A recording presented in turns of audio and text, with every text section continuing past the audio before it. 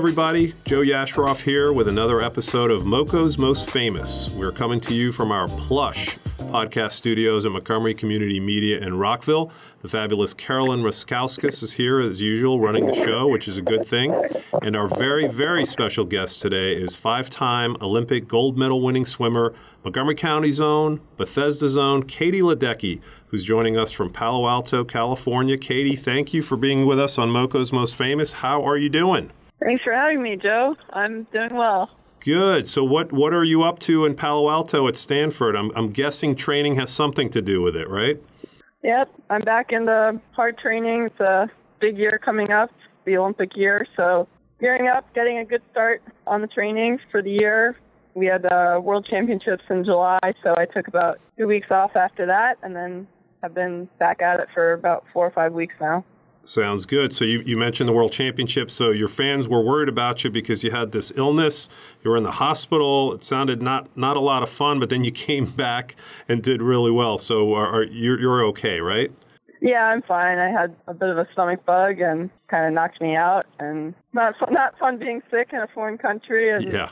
you know having to figure that out. But I was lucky to have some really good doctors on the trip with us that took really good good care of me and made sure that we took all precautions to make sure that I was back healthy enough to race my last two events and then get home and go to a few appointments and Yeah. make sure everything was fine as I as I got back into training. So yeah, And- and- everything's fine. Good. Good to hear. Typical Stomach bug kind of thing. Your, your coach said that uh, when you came back, and I think you won a silver and a gold after the illness, that he said he uh, that you, you had not swum much better than that. So that that's pretty uh, good to hear from your coach, right? Yeah, it's, it's you know those were kind of unique moments for me. It, you know, I basically was out of the water for a day and a half or two days, which in the middle of a meet like that has never happened to me. So to be able to work up enough strength to be able to get back in and just race, uh, just truly race, not worry about times or or anything like that. Just do my best and see where that put me. Sure. So how hard are you training right now? We're inside, I guess, of a year uh, before the, the 2020 Tok- Tokyo Olympics. How hard are you going right now?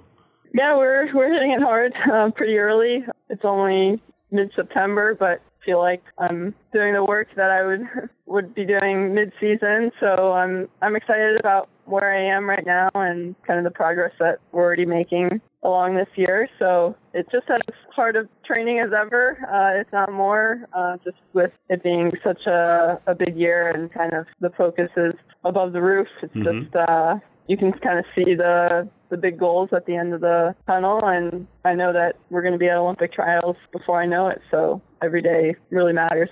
Absolutely. Now, if you were wondering or if you were worried if I'm qualified to ask you swimming questions, I wanted to assure you that I got my flying fish shark card when I was about 10 or 11 at the YMCA. So hopefully that qualifies me. Is that okay? Yeah, that that qualifies. That's good. All right, good. All right, so I want to talk to you about tomorrow. For those listening on Thursday, we're recording this uh, podcast on Thursday. Tomorrow is a big day. You're getting inducted. You're part of the inaugural class of the Montgomery County Sports Hall of Fame. You're not going to be in town for that, but you're you got inducted. And I, I have to say full disclosure here that I'm part of the board of directors. But when you heard the news, what was your reaction? Yeah, I was uh, incredibly honored, and it's such an honor to be part of this first class in the Montgomery County Sports Hall of Fame and to be joining some incredible athletes in this class. I'm bummed that I can't make it out there to be there for the event and to congratulate the other inductees for their incredible accomplishments over the years and all of their contributions to Montgomery County. But again, just just so honored to be joining this group and can't thank Montgomery County enough for their support over the years and for everything the county and the people have given me and uh, just loved growing up in Montgomery County and I'll always consider it home. And that's great. We're going to get more to Montgomery County. Excuse my voice. So the other, you talked about the other inductees. You've got Dominique Dawes, a fellow gold medal winner in gymnastics. You got Sean Springs, great football player. Bruce Murray, a star soccer player.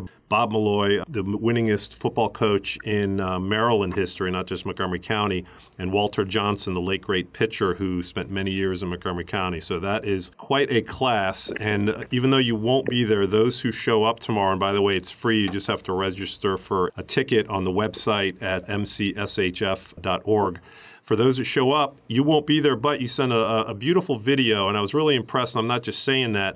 A lot of people do videos, they're reading off prompter, and it's short. This was not short, and, and it really felt genuine. And uh, I know that the people that show up are really going to appreciate you uh, you sending that video. So I just wanted to, to tell you that. Thank you. Yeah. Again, I'm upset I can't be there for it. My family will all be there and a couple friends, I think. So yeah, uh, I know my family is looking forward to accepting and maybe saying a few words along with the video, and of course seeing everyone and congratulating all the other inductees as we, well. We will send you pictures. You will feel like you were there. Okay. Oh, good. Thank you. Absolutely. So you talked about Montgomery County. It's such a big part of, of you. You were born in D.C., but grew up in, in Bethesda, I think, correct? Yes, I've lived in the same house my whole life in Bethesda. Wow. So what was that like growing up? Were you a, regular kid that just happened to end up being a, a gold medal swimmer? Or what was that like growing up? Yeah, pretty much. I mean, I I joined a summer league pool in the Montgomery County Swim League when I was six years old. We joined the Palisades pool, and I was six, my brother was nine, and we didn't really know very many people at the pool. So the easiest way to meet people is to join the swim team. So that's what we did, and by the end of the summer, we had you know 100 friends, ages six to 18. So that was kind of how I got my start in swimming, and started swimming year round right after that first summer, and just really benefited from that Montgomery County Swim League, and then kind of the the club swimming scene in the area is so strong in the DMV. So just yeah, it all started in Montgomery County. When uh, okay, I'm guessing you played other sports as a little kid. When did you realize that swimming was your sport? Yeah, I played basketball and soccer as well growing up, and I played those till I was about ten or eleven. I started realizing that I was taking swim practice over basketball practice if hmm. the two were at the same time. And I also broke my arm playing basketball in fourth grade during gym class. And so I think that was kind of a turning point where I was, you know, I kind of realized how bummed I was that I had to sit out of swim practice because of the broken arm. And I started, I think, sitting out of PE class if I had a big swim meet coming up just to be careful uh, and not do anything silly. I was, I, I guess I was a little too competitive in gym class. So, you know, I think it was kind of around 11 or 12 where I really started taking my swimming seriously. I was doing you know, early morning practices, waking up at four o'clock in the morning to go swim, doing, you know, two practices a day, that kind of thing when I was 11 or 12, uh, and just started qualifying for bigger and bigger meets until the next meet to qualify for was Olympic trials and was able to do that when I was 14 and then make the Olympics the next year when I was 15 you mentioned the early morning practices, which anyone who swims know that that's what you have to do. If you if you had to change one thing about swimming, would you change that the, the getting up early part? Uh, I guess so. It's kind of part of the sport. I think every young swimmer that's serious about swimming kind of gets into that or falls down that road just based on pool availability and sure. if you want to get two practices in, in in the in the day, then you're going to have to do one before school and one after school, really. So uh, you know, it's kind of the sacrifice that you have to make, but I never really considered it a sacrifice. Hmm. Um, was something that I was always excited for. Never had trouble waking up for practice.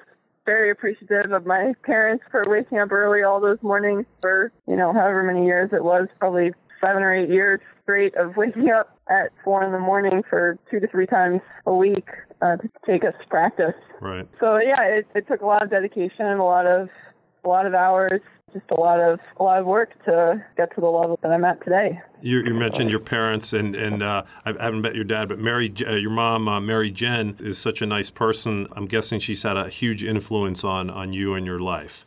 Yeah, both my mom and my dad have had a huge influence on my life. They just have always been incredibly supportive, and you know, and that goes for my brother as well. Mm-hmm. I just feel like I have the best family, and hmm. I'm really lucky, I guess, that my parents had the smarts to raise a family in Montgomery County because we really do love the county, the area, all the people. It's really become such a great place to be for our family. Any specific memories, or is there one story that sticks out at Little Flower, Stone Ridge, or any of the races that you want to share? I'm guessing you didn't have a lot of close races, but uh, any anything fun or interesting that kind of sticks out?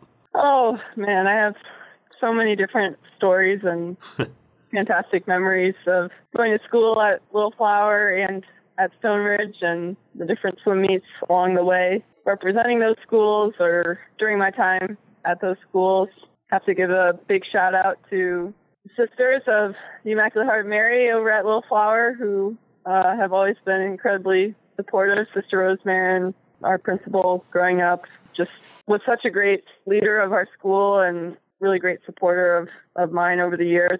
Been fun to go over to the comment over at Little Flower and show the sisters my medals after the Olympics or, or World Championships and just sit around and, and tell stories and also just reminisce about our days at that school. And then Stone Ridge as well, just four great years of high school there and just the support that I received there while I was competing at the Olympics. You know, it was uh, the summer after my freshman year that I went to London and I was still, you know, kind of getting to know people at, at Stone Ridge and I didn't, you know, I was kind of still solidifying who my friends were and, you know, feeling my way around campus and getting to know everyone. But I feel so lucky that I had that experience in London because it was really special for me to see how strong of a community Stone Ridge really has. And, you know, all credit goes to Mrs. Carroll, the head of school, and leadership in the upper school, Mitchell, Mr. McCluskey.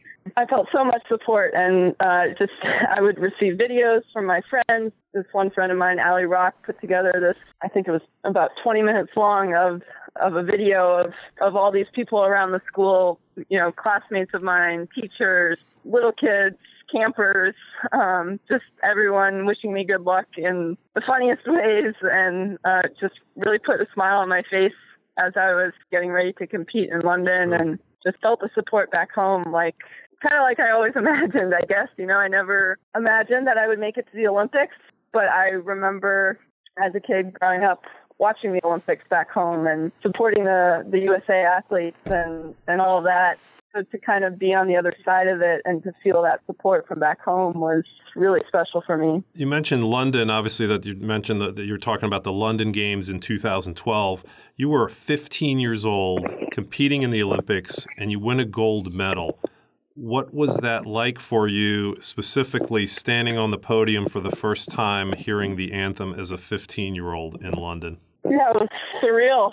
There's no other word for it that was my first time competing internationally for the U.S. in swimming, and to be at the Olympics, first of all, was such an incredible feeling and such an honor. And then to make an Olympic final in the in the one event that I was competing in, again, that was kind of another step up. And at that point, everything on top of that was just kind of like a cherry on top. And I didn't feel any pressure. Went out there and and took the gold. And so when I was standing on that podium, I just I had I had all the emotions, started crying, saw my family, saw some people in the stands from our area, Montgomery County, and just kind of made me feel at home. And it's just an incredible feeling when you get to see that flag raised in your honor and in the country's honor and to sing the national anthem like that. We're talking to the great Katie Ledecky, five gold medals so far, 15 world championship gold medals, 14 world records. I don't know, you may have set another couple. I don't know if these stats are up to date. You may have set another couple in the last two days. Yeah, those these... sound right.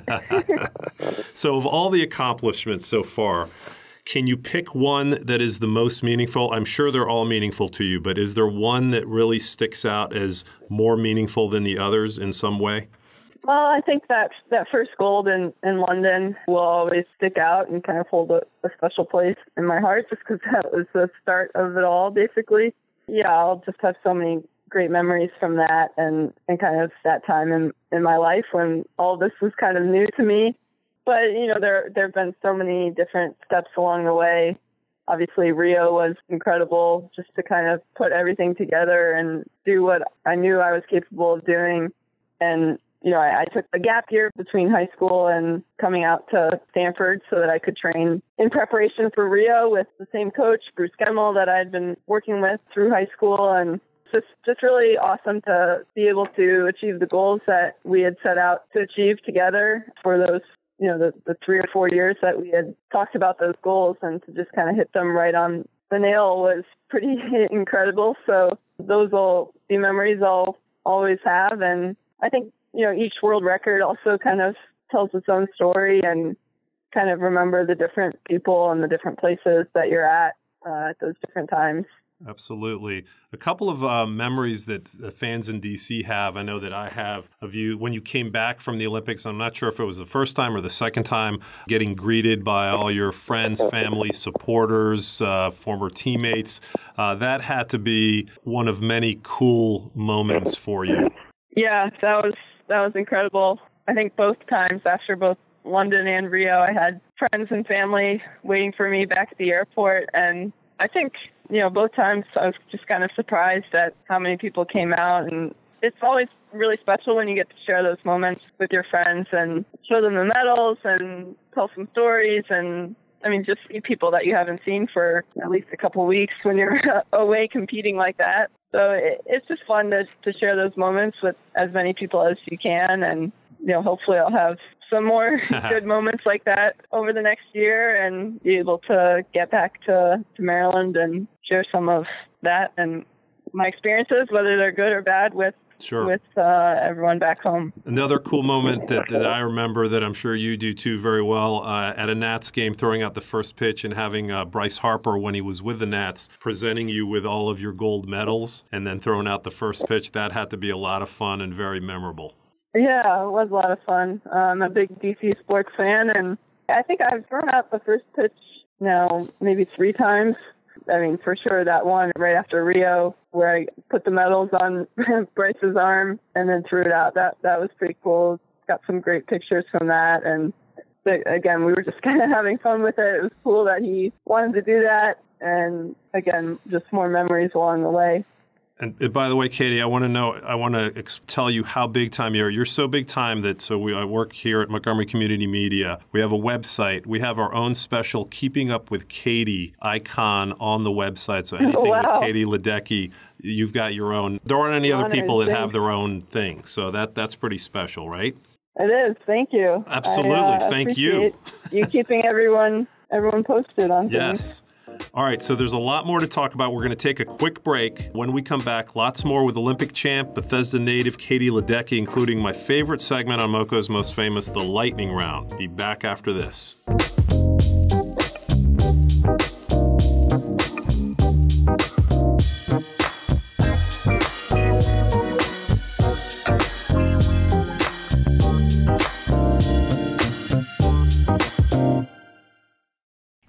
MCM, your community media center, is making Montgomery County a great place to live through programs like 21 This Week. Montgomery County's hardest hitting political talk show keeps you up to date with the local political scene. Montgomery Community Media. Our middle name is Community.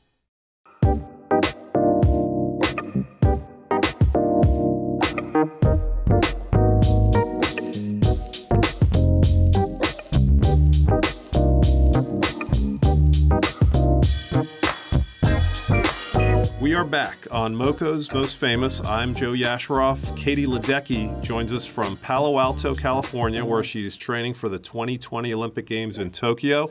Katie, uh, we really want to thank you again for, for joining us. This is uh, a lot of fun for us. And uh, we, you know, you started talking about uh, being a DC sports fan. Part of that, I'm guessing, came from your uncle Jonathan, who everybody knows was part of the ownership group with the Caps for years. Now with the Islanders, is that how you became a, a uh, DC sports fan, or just growing up here?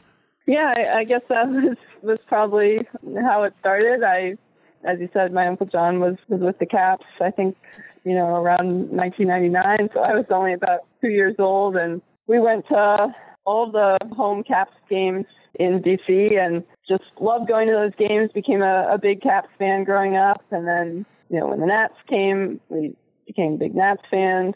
Wizards, you know, all, all the different sports, Redskins. Yeah, it's fun to get involved with that, and obviously DC sports fans are are pretty passionate, and hmm. and been fun to have some some really big players in DC and to watch them compete at the level that they're at and to be able to get to meet some of them over the last couple of years. It's been and really also, cool. And also, you would belong on that Mount Rushmore of, you know, Alex Ovechkin and anyone else you want to put on there. But Katie Ledecky definitely goes on that Mount Rushmore. How did you feel? Where were you when the Caps won the Stanley Cup? I was uh, at school out, out at Stanford. I was actually competing in a meet that next day. I remember because I was asked all about it the next day at Sure. that meet. And I think I was also announcing my first professional sponsorship that next day as well with TYR. So it was kind of a, a big couple days there, and yeah, it was exciting to to see them do that. And obviously, kind of wished I was in DC to kind of see some of the festivities. And you know, our, our family is still very close with the Leonsis family, and you know, we're big fans of of theirs, and they've been incredibly supportive and, and kind to us over the years, and was really happy for them for that success. It was madness. Uh, you know, the, the streets were filled. It was not just Caps fans. Everybody kind of jumped on the bandwagon, which was which was great. I'm old enough to remember when the Skins won and that parade, but this was really felt really special because there had been a long gap in terms of the the Big Four sports winning championships. So it's a big deal for the whole For sure. city. Yeah. So, and, and kind of like when you, when you win gold medals, everybody is so proud and, and, and feels the, the pride. And uh, so it's amazing what. Uh, do, do you feel the power of what sports can do and what sports accomplishments can do for fans, for cities? Yeah, of course. I think sports can really bring people together, whether it's within a town, within a city, within a country, globally. I think, you know, competing in the Olympics, I've really seen how sports can bring people together from all over the world and kind of be this uniting force, you know, hopefully uniting force in the world and, you know, kind of during those those two or three weeks when the Olympics are held, I think there's something kind of special felt uh, around the world as people are watching and cheering on the athletes from their countries and kind of seeing these athletes from different countries interact and good sportsmanship and perform at the highest level and just put forth that effort for their different countries. And personally, I've really enjoyed getting to meet people from all over the world, and uh, I never again imagine that I would get to that level and have the opportunities that I've had to travel the world and, and meet people from from all over. You know, we take a bus to and from the,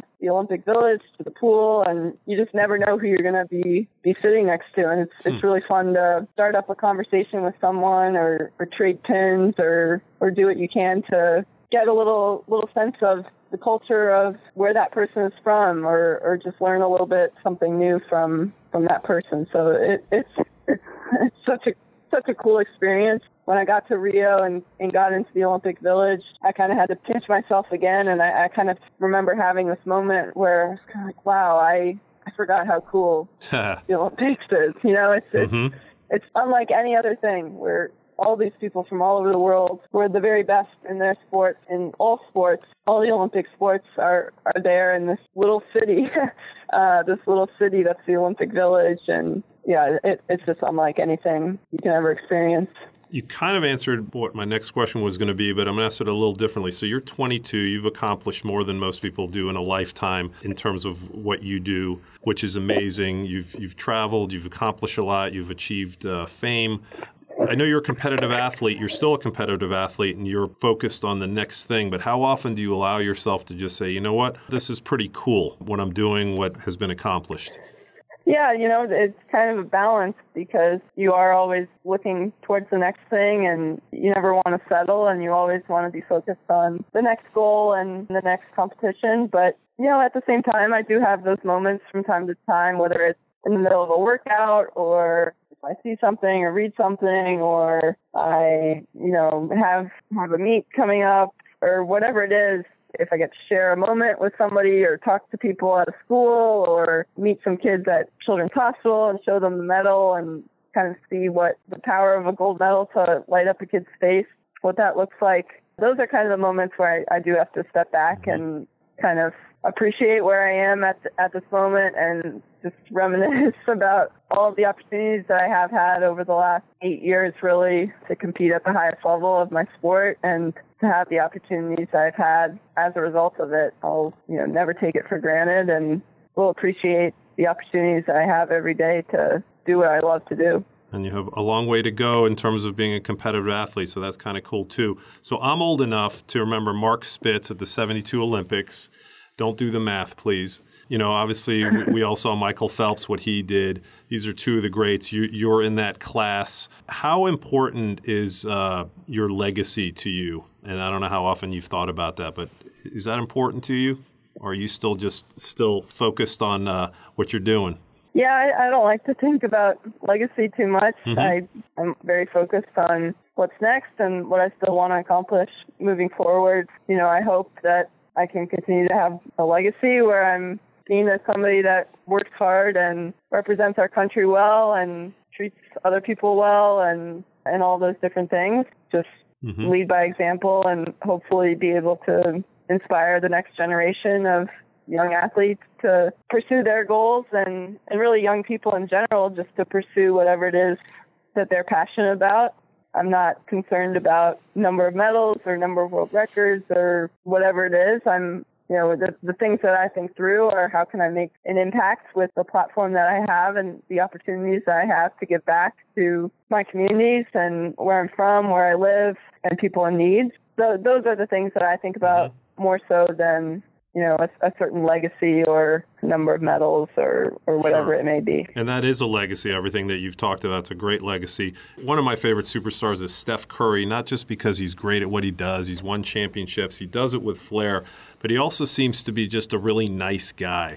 And you seem to fit into that into that mold of people that uh, are kind and and really care about the image and being a role model. How important is that to you? Thank you.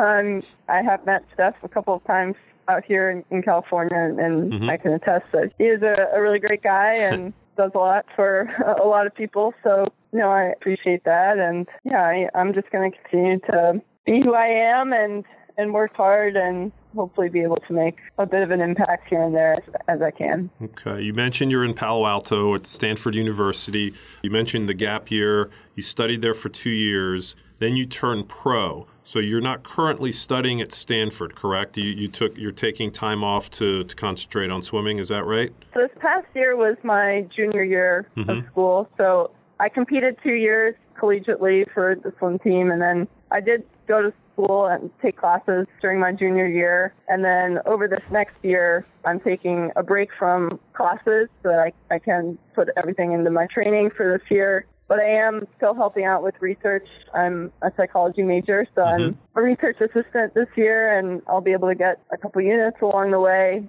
continue to work towards my degree and stay mentally engaged and still be able to, to do some of that over this next year. And then after 2020, I'll have about a year, year and a half left of classes. So taking a little bit of a long road, but I'm lucky that I still get to, to do things here out at Stanford, be able to train here, be able to take classes and, and learn from some of the best professors in the world and Mhm.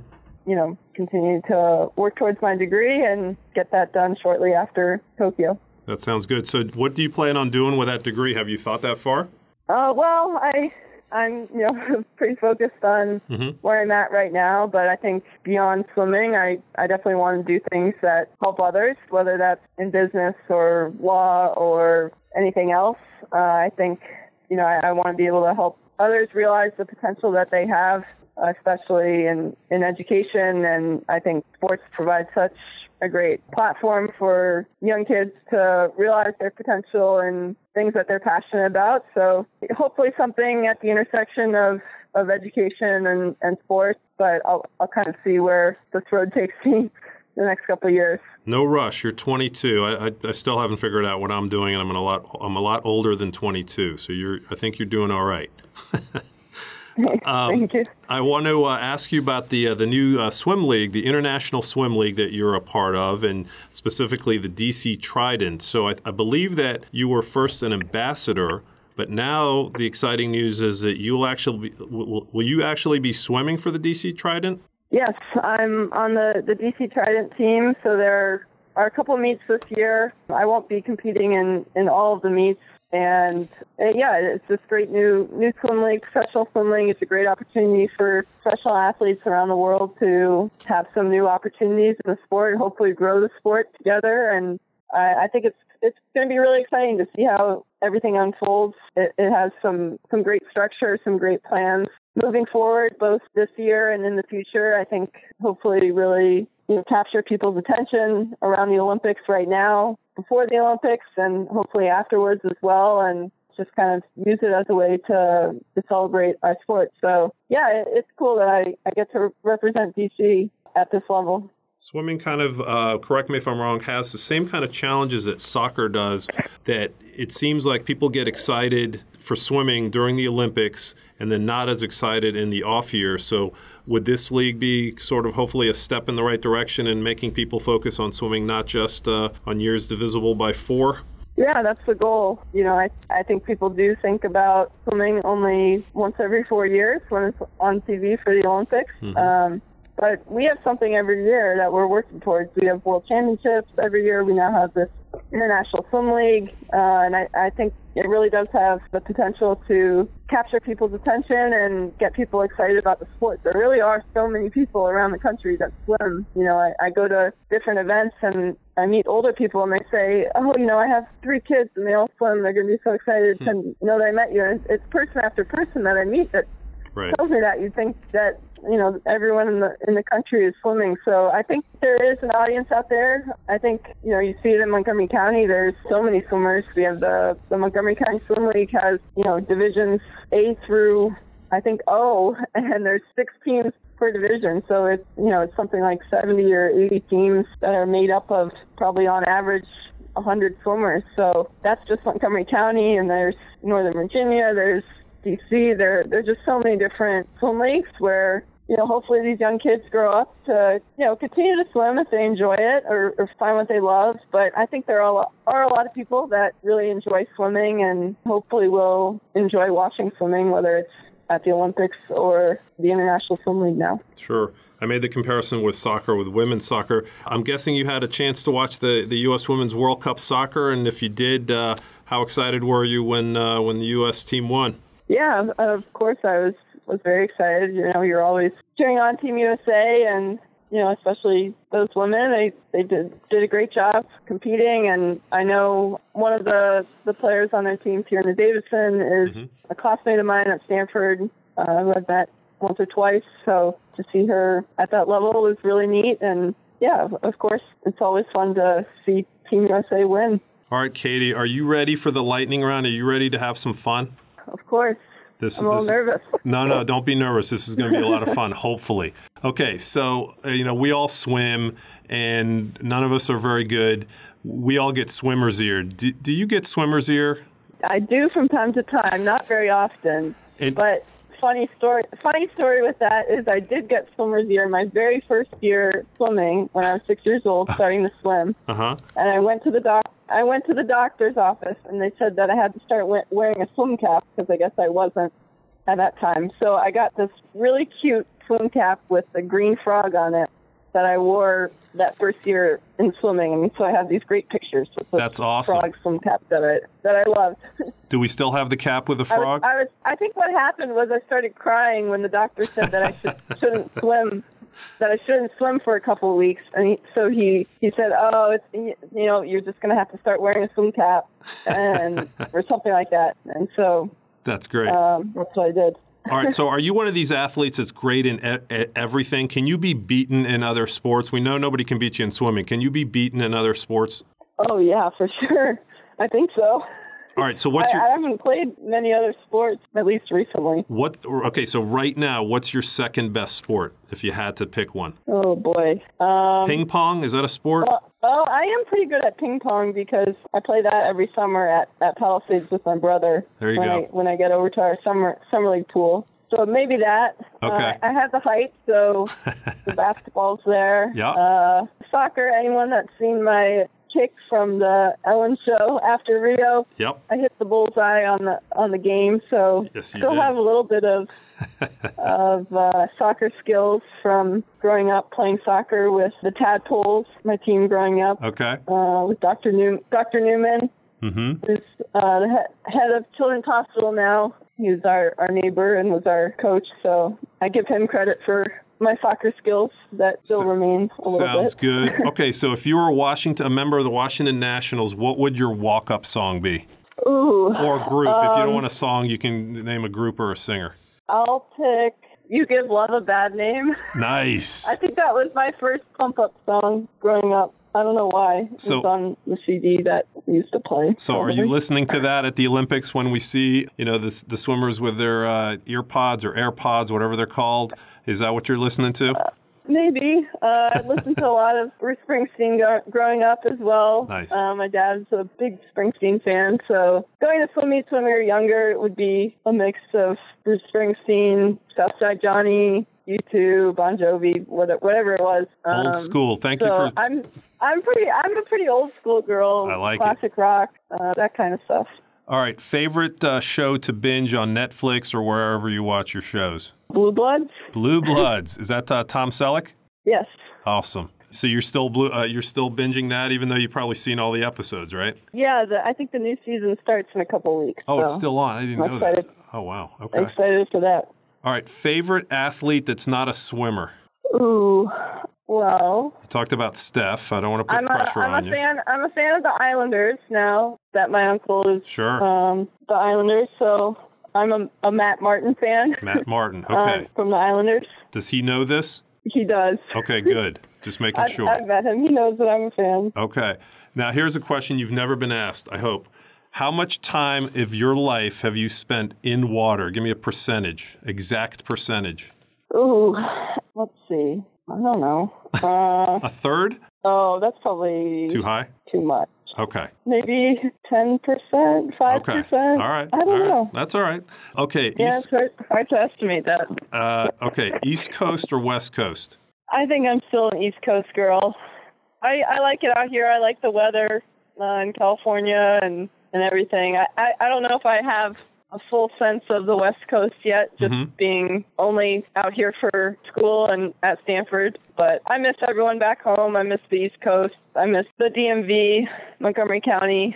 So Well, I- come, I come think on I'll back. Come on. Come, some- come, visit us. I think I think at some point I'll I'll get back. Maybe once I'm finished up with school or further along down the road. We'll see. And I, I like both coasts, okay. but I don't have a super strong Okay. preference or, or feeling at this point. When you come back, what do you do when you come back home? Somebody said, uh, Carolyn said, do you, do you sleep? Sleep, uh, eat some home cooked meals, just hang out at home, try to meet up with some friends from school, swim, go to Palisades. There you go. Uh, so all right. Last two. hit all the top spots. Last two questions. Your favorite after practice or after race meal? There's got to be one, right? Well, I always drink chocolate milk Ah. after a race. There's a good plug. Uh, you are now spokesperson for chocolate milk. Shameless plug. Well No, done. Well done. true. But let's see. If I really want a treat, like after the Olympics, I feel like it kind of depends on where I am and what I haven't had for a really long time. Got but it. I guess it would be something like a pizza. A pizza is always good. I could eat pizza literally every day of my life and never get sick of it. yeah. All right, Yeah. last last question for the lightning round. Do you get invited to pool parties? Not much. Wouldn't that be most- weird you know, inviting most of my- Katie Ledecky to a pool party? Or maybe it wouldn't be weird. I don't know. my most of my friends are swimmers, and so we don't really, you know, go to the pool in our free time.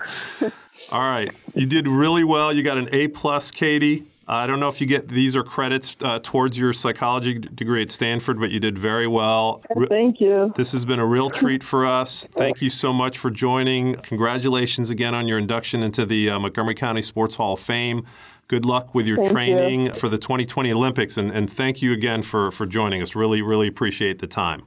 Yeah, thank you. I appreciate it. That was five time Olympic gold medal winning swimmer Katie Ledecky. I'm Joe Yasharoff. Thank you to Carolyn Raskauskas, Adam Wyatt for uh, keeping me in line and for making everything sound great. And also to everyone here at Montgomery Community Media. Until next time on Moco's Most Famous.